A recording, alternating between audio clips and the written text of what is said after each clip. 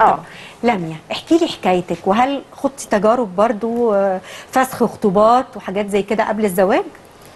لا الحقيقة أنا يعني ارتبطت بزوجي أيوة إحنا طلبة في الجامعة ويعني كملنا أربع سنين ارتباط وخطوبة و... واتجوزنا وبقالنا حاجة و20 سنة متجوزين. ما شاء الله. بس لأن أنا بشتغل طول حياتي في حقوق المرأة ومؤخرا كنت بشتغل بشكل أساسي على المرأة الريفية و...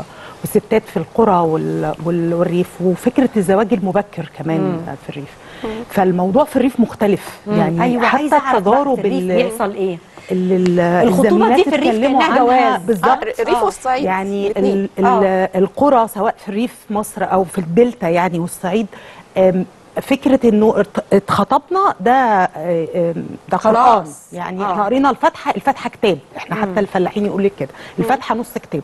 فكأنك اتجوزتي. مش ده الفاتحة مش الخطوبة. ما لبس- ما مسكش إيديها ولبسها الدبلة. آه وده مش بس على فكرة الخطوبة. هي فكرة الارتباط بشكل عام. العلاقات ال- العاطفية والإنسانية في حياة في حياة الستات معدودة عليها. زي النفس كده. وليه إحنا بنخطب ونجوز بدري في الريف بغض النظر عن بعض المظاهر اللي بيقولوا عليها إتجار؟ اللي هو بيجي حد غني أكبر منها سنا أيوة. يتجوز. ده مش الاكثر انتشارا في ريف الدلتا. الأكثر انتشارا في ريف الدلتا هو ما يسمى بجواز السترة. أنا عندي بنت ابتدت اتخرجت من من تعليم متوسط أو في تعليم متوسط. وعايز خلاص بقى اتخرجتي آه لازم تتجوزي يعني فورا ما اتخرجتش بتبقى لسه طالبة في الجامعة بس هي أو في في الثانوي. ولأنه مدارس الثانوي في معظم الأحيان بره القرية يعني هي بتركب مواصلات وبتتنقل من قريتها للمدينة. لازم تتستر فبتركب مواصلات مع رجالة وبتتعامل مع مدرسين ذكور و...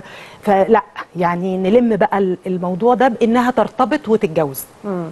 وده طبعا لا البنات بيبقوا اختاروا بشكل آه، فعلي. ولا بيبقوا عندهم أفق تاني للحياة غير الارتباط والجواز وبالتالي فكرة أفسخ خطوبة وأدخل خطوبة جديدة ده مش وأظن مش, شيء سهل بالنسبة لها البنت في في الريف أو في الصعيد إن هي تاخد قرار فسخ الخطوبة هتلاقي. معارضة رهيبة من هي أهلها ما بتاخدش قرار أصلا للخطوبة لا ولا فسخ مش الخطوبة افرضي. افرضي. كان لا يطاق ها وعايزة تفسخ الخطوبة. بتلاقي معارضة شديدة. من الأهل. لأن هم في حسابات مرتبطة بالجيرة. اولا هم معظمهم بيبقوا من القرية من قرية واحدة. البنات معروفين بشفاها لا ده جارنا لا هتبوظي علاقة العيلتين ببعض. آم، هو أصل كل الرجالة. كده. هو مين هيتجوزك بعد ما تفسخي طبعاً. آه خطوبتك؟ آه إن سمعتك هو هو كمان ال ال الرجالة في بعض الأحيان بيستخدموا نقطة الضعف دي إنه كمان مش بيكتفي بإن اتفسخت الخطوبة فإحنا ننهي الخطوبة بشكل محترم. إن أنا أبتدي زي ما بيقولوا في الأرياف برضه لسن عليها آه. أتكلم عليها أسيء لسمعتها. مع انتشار كمان بقى وسائل التواصل الاجتماعي والموبايلات وال- وسهولة التسجيل والتصوير.